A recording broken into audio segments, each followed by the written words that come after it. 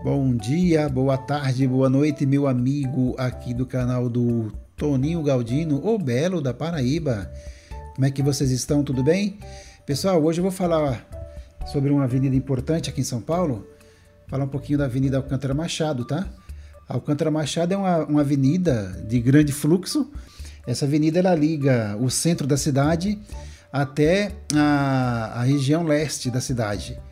E ela vai com esse nome, né? Que é a Radial Leste. O nome se chama Radial Leste, mas o nome oficial é Avenida Alcântara Machado.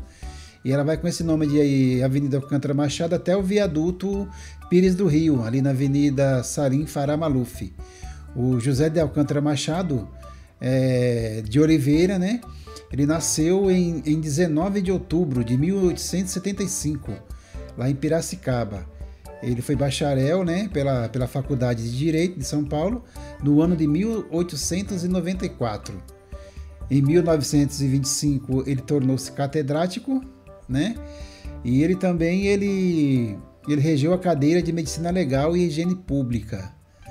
É, ele foi em 1911 ele foi eleito vereador da Câmara Municipal de São Paulo. Depois foi deputado estadual e em 1930 ele terminaria é, seu mandato de Senado estadual. Como senador federal, permaneceu na Câmara Alta até a dissolução do Congresso. Ocupou a cadeira número 1 da Academia Paulista de Letras, cadeira esta criada por seu pai e que tinha como patrono o seu avô, é, o senhor é, o brigadeiro José Joaquim Machado de Oliveira. E ele faleceu no, no dia 1 de abril de 1941, em, mil, em, em, com 66 anos, né? Travou aqui a língua do Paraíba. Ele faleceu em 1 de abril de 1941, com 66 anos de idade, né?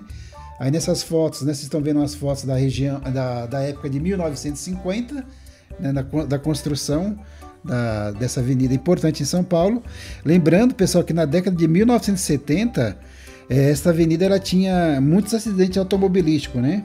Eh, segundo as pessoas, eh, as pessoas que iam fazer o entrar ali no viaduto Pires do Rio tinha uma curva que é chamada Curva da Morte, né? E, e morria muita gente nessa, nessa região. Avenida Alcântara Machado. Um abraço, pessoal, e até o próximo vídeo.